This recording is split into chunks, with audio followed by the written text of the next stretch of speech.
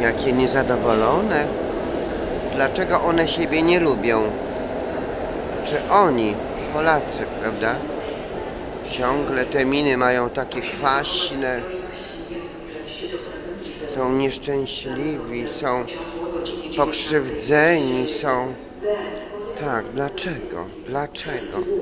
Także widzicie Państwo, w tej żebrecznicy wielkiej nikt tutaj nie jest rozpoznawalny. To, że ona mówi po angielsku, to nie znaczy, że tu jest Wielka Brytania. To jest Wielka Brytwanka.